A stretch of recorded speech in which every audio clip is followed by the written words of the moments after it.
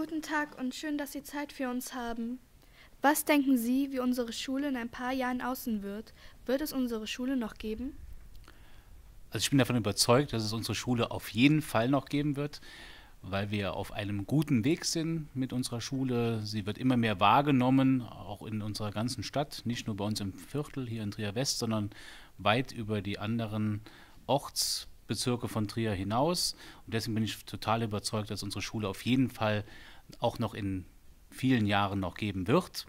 Und ich hoffe sehr, dass unsere Schule sich auch noch verändert dass auf jeden Fall deutlich schönerer Schulhof hoffentlich geben wird, weil der Schulhof ist einfach nicht einladend, dass man viel mehr Spielmöglichkeiten auf dem Schulhof bekommt, viel mehr Grün noch bekommt. Das wäre so mein, mein Wunsch für die Zukunft, wie unsere Schule aussehen könnte.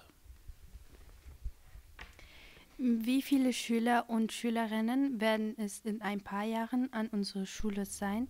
Wird in der Schule der Zukunft jedes Kind aufgenommen werden oder wird die Schule rassistisch sein? Also ich gehe davon aus, dass wir, weil wir eine offene Schule sind, auf keinen Fall unsere Schule rassistisch werden wird. Und äh, ich gehe davon aus, dass wir auch in Zukunft äh, eine Vielzahl von verschiedenen Kindern aufnehmen werden und ich hoffe, dass wir auch in den nächsten Jahren alle Klassen dann dreizügig haben, dass es also quasi immer eine A, B und C-Klasse geben wird in unserer Schule. Und damit hätten wir automatisch auch mehr Schüler als jetzt zurzeit. Ähm, deswegen gehe ich aber davon aus, dass wir aber auch nie vier Klassen haben werden in unserer Schule. Aber wenn wir eine Dreizügigkeit komplett durchgängig hätten, wäre ich schon sehr, sehr froh. Und deswegen gehe ich davon aus, dass wir irgendwann so im Moment ungefähr bei 320, 330 Schülern, dass wir ungefähr bei 350, 370 Schülern wahrscheinlich irgendwann rauskommen werden. Wie viele Räume wird unsere Schule haben? Wie lange noch wird es die Container als Klassenräume auf dem Schulhof geben? Wie wird das Gebäude der Schule in der Zukunft von außen aussehen? Wird es in der Schule der Zukunft neue Gebäude für uns geben? Also ich hoffe sehr, dass wir äh, ein neues Schulgebäude, also noch einen Erweiterungsbau bekommen an unserer Schule. Dieses altehrwürdige Gebäude, wie es hier steht, in diesem alten Gebäude, ist ja schon auch äh, unter Denkmalschutz steht dieses Gebäude, weil es auch schon über 100 Jahre alt ist. Das kann ich mir vorstellen, dass es genauso bleibt.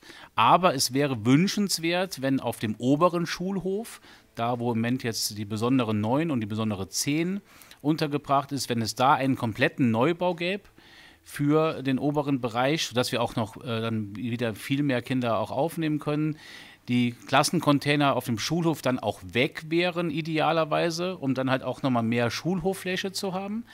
Und dann wäre es natürlich total wünschenswert an unserer Schule, wo so auch die Kultur im Vordergrund steht, wenn wir auch wirklich eine Aula bekämen, wo man halt auch Theateraufführungen machen könnte, wo man einfach auch würdig auch die Abschlussfeiern durchführen könnten und wo wir halt auch nicht nur wie bis jetzt üblich auf unserem Schulhof unsere Vollversammlungen abhalten könnten, sondern dass wir wirklich dann eine tolle Aula hätten, um einfach da nochmal als große Schulgemeinschaft auch immer sich wieder zu sehen und sich gut aufzuhalten. Um welche Uhrzeit wird die Schule der Zukunft beginnen und wann enden? Das ist ein, äh, ein schönes Thema, weil, wenn ich das so offen sagen darf, unser Schulleiter, der Herr Lang, eher so ein, lieber ein Langschläfer ist, der lieber erst mit der Schule, glaube ich, später beginnen würde.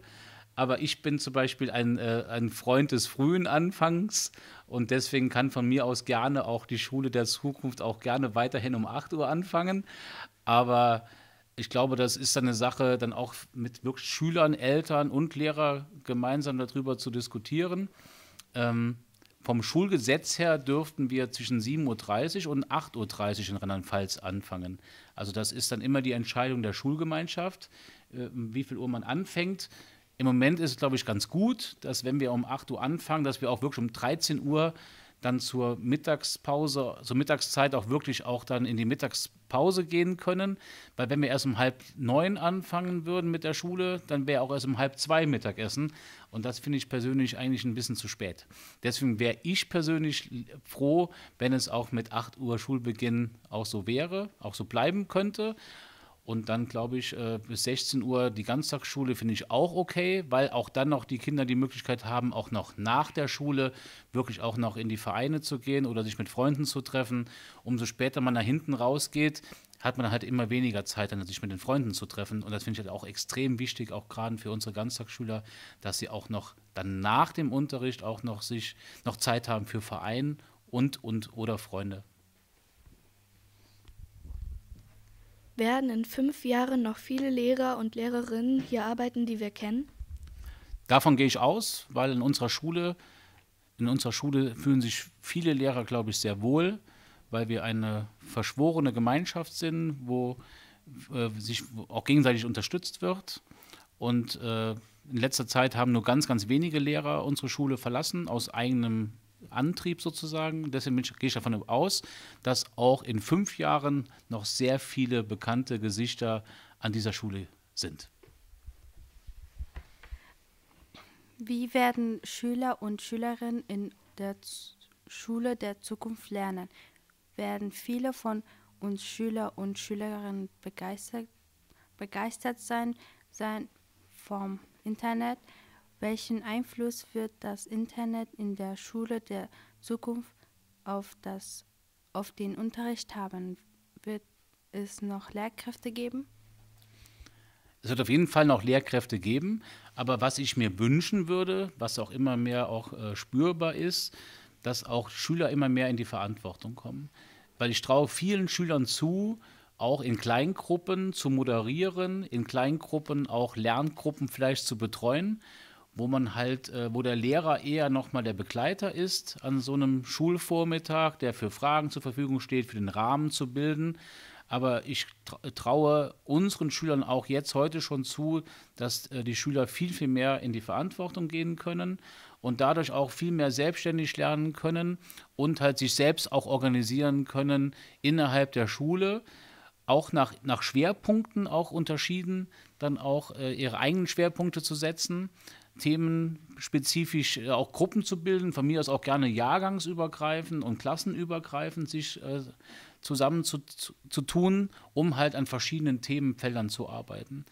Und äh, die Frau Dr. Heinz und ich werden auch nächste Woche nochmal äh, noch zu einer Fortbildung aufbrechen nach, äh, in die Pfalz, wo es genau darum geht, halt auch Öffnung des Unterrichts, äh, andere Formen des Unterrichts, um einfach den Schülern mehr in die Verantwortung zu nehmen und nicht immer nur der Lehrer vorne dann alles äh, für die anderen macht, sondern dass die Schüler zusammen mit dem Lehrer den Unterricht gemeinsam machen.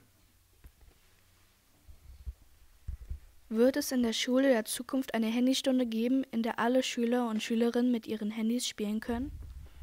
Ich glaube nicht. Ich glaube, das äh, braucht auch keiner. Ich glaube, die, die Kinder von heute, wenn ich auch meine Tochter, eigene Tochter sehe, die ist jetzt elf Jahre alt, wie viel Zeit die schon am Handy verbringen will in ihrer Freizeit, wenn jetzt auch noch in der Schule noch äh, Handynutzung äh, für eine ganze Stunde zum Spielen verwendet wird, ist das, glaube ich, der falsche Weg. Aber ich bin davon überzeugt, dass später auch, wenn immer mehr dann auch nochmal die neue Schule der Zukunft immer mehr Fuß gefasst hat in der Schule zur eigenen Verantwortung, zur eigenen Motivation, um selbst zu lernen, werden, glaube ich, die Kinder später auch gar nicht mehr am Handy spielen wollen, und, äh, sondern wollen einfach äh, selbstständig äh, Sachen entwickeln, selbstständig lernen. Und ich glaube, ich gehe davon aus, dass die Kinder in der Zukunft, also in unserer Schule, später dankbar sind über jede Stunde, wo sie kein Handy in der Hand haben. Wird es mehr oder weniger Regeln in der Sch Schule der Zukunft geben? Werden die Schüler und Schülerinnen mehr mitbestimmen dürfen in der Zukunft? Ja, auch das ist ein wichtiger Ansatz, dass wir, wir hatten ja schon unsere Schulregeln gemeinsam mit den Schülern und den äh, Eltern und den Lehrern gemeinsam verabschiedet. Aber ich glaube, wenn wir immer mehr zusammen verstehen, wie Schule funktioniert, nämlich mit einem freundlichen Miteinander, mit einem respektvollen Umgang miteinander, dann äh, gibt es zwar Regeln der Schule, der Schule, die es auch immer geben müsste, wie es auch ganz normale Gesetze gibt, auch in der normalen Gesellschaft, aber ich glaube, die, die, die Diskussion über die Regeln wird einfach gar nicht mehr geben, weil wenn einfach viele an einem Vormittag wertschätzend, respektvoll miteinander umgehen zwischen Schüler und Lehrern und die Schüler untereinander, dann brauchen wir nicht mehr großartig das Thema Regeln zu besprechen, weil einfach alle auf auf freundliche Art und Weise miteinander umgehen und dadurch schon automatisch dann schon die Regeln automatisch anwenden, die man einfach braucht, um dass sich jeder wohlfühlt in der Schule. Weil die Regeln sind ja auch da, damit auch dann äh, schwächere Kinder oder Kinder, die nicht ganz so eine Selbstbewusstheit haben, auch beschützt werden. Aber wenn halt der Umgang untereinander dann viel respektvoller ist, hoffentlich in Zukunft, dann wird man automatisch die Regeln einhalten.